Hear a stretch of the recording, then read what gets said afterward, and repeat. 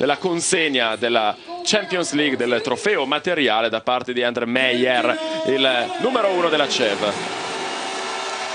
È sempre un'emozione vedere una squadra italiana esultare nella pallavolo soprattutto ti dirò personalmente Claudio, ci siamo abituati ormai non ci si abitua mai a vedere sventolare la bandiera italiana dietro le maglie nere di questi grandissimi atleti che hanno fatto veramente un'impresa straordinaria anche in questa Final Four. È veramente un'emozione indicibile. Poter eh, raccontare, aver raccontato quello, quello, che è successo anche quest'anno perché è il momento anche di ricordare la grande vittoria di Bergamo nella Champions al femminile, quello che hanno fatto le squadre italiane di club anche quest'anno nelle manifestazioni europee è veramente qualcosa di eccezionale. Perché dobbiamo aggiungere la vittoria in CEV Cuneo, prossima avversaria di Trento nella finale scudetto proprio tra sette giorni a Bologna e di Perugia nella Challenge, Challenge. Cup. Tanto per ricordare quello che sono i due anni fantastici di Trento, tutto iniziato nel 2008 con la vittoria del campionato italiano, lo scorso anno la Champions League, il mondiale per club, la Coppa Italia, la Supercoppa e adesso nuovamente la Champions League in attesa di vedere questa bellissima sfida tra due squadre che vi racconteremo il prossimo anno in Champions League, vale a dire Trento e Cuneo. Si guarda, guarda un pochettino questa medaglia d'oro che già si era messo al collo lo scorso anno Vissotto, Vissotto gran bella partita quest'oggi. Sì, sì, ha giocato veramente alla grandissima anche in attacco. Vedete sul palco anche Mosna ricevere il presidente della squadra di Trento, ricevere la medaglia, anche Rafa presente eh, in mezzo ai suoi compagni di squadra, anche se non era referto per eh, il problema al dito che gli impedisce di giocare da circa un mese.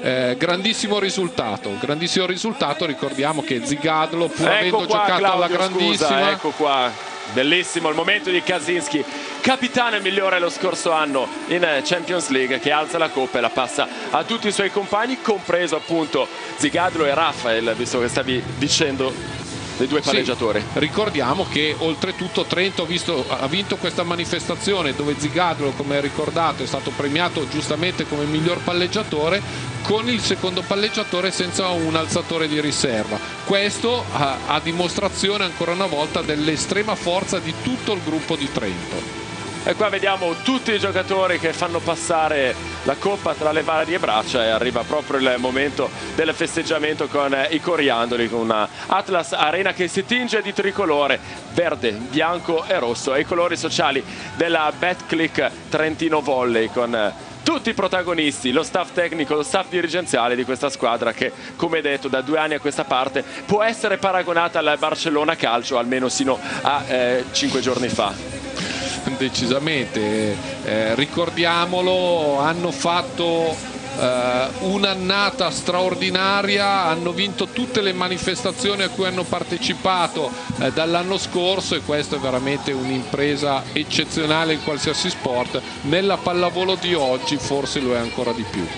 E qua vediamo altre immagini in merito al festeggiamento. Intanto, visto che ci stiamo avvicinando alla conclusione di questa stagione per club, ricordiamo anche, o meglio, salutiamo e siamo vicini ai festeggiamenti anche il pubblico presente al Palatrento, al Palatrento. che ci ha seguito nel corso di questo lungo pomeriggio di sport che ha visto per merito appunto di questa formazione che sta eh, celebrando l'ennesimo successo italiano nella pallavolo e fa bene questo fa, fa decisa be, decisamente bene. Speriamo che sia un buon viatico anche per un'ottima stagione della nazionale italiana. Ci sono i due mondiali a settembre quello maschile a novembre quello eh, femminile sperando ovviamente di ritornare nelle zone in cui meritiamo appunto di stare. Forse è più facile eh, in campo femminile che in campo maschile però non si sa mai non si sa mai perché le vittorie danno la carica. Bene direi che siamo giunti in conclusione. Adesso è il momento di ridare la linea a Ettore Miraglia pronto anche per darvi gli ultimi aggiornamenti in merito alla Serie A. A te Ettore. Grazie a Martino